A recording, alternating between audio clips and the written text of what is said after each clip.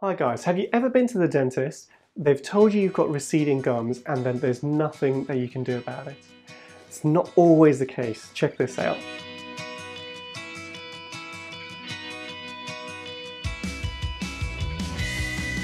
So in today's case, I'm going to show you what we did for this lady to improve her smile. So if we go, if we did uh, the kind of smile analysis, it's her front teeth, front four teeth that she didn't like. She's been to a whole bunch of dentists. They've used um, what we call composite or bonding to try and improve the, the look of these teeth, but it's really not worked that well.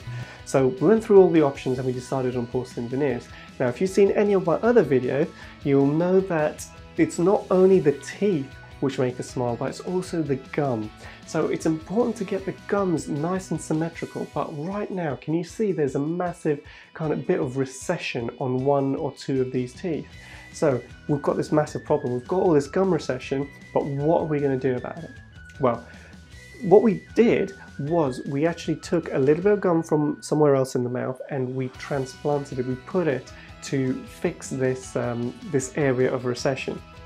And I know whenever I mention this to my patients, they, they, they instantly think, oh my God, what a horrific kind of treatment. But with anything, you know, numbed up really well, it doesn't actually hurt.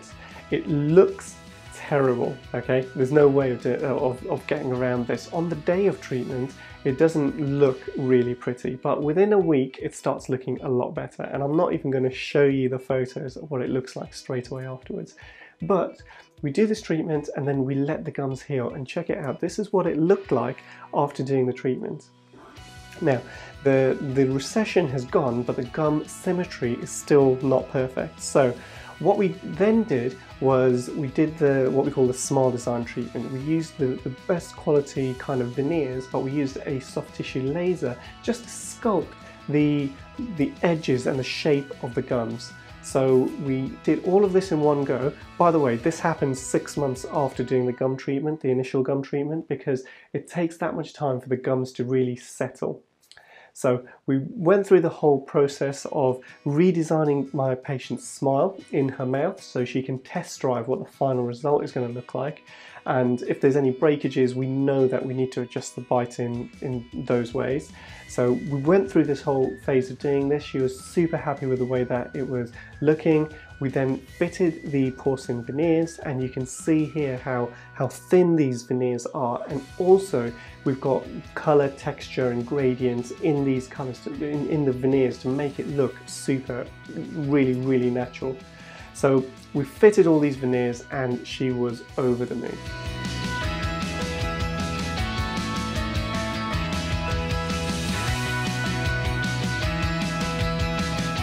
So as always, if you're thinking about this kind of treatment and you, you'd like to have a consultation with me, just head over to my website and we can, you can just pop in your details there and we can arrange something. All right, until next time, I'll see you later.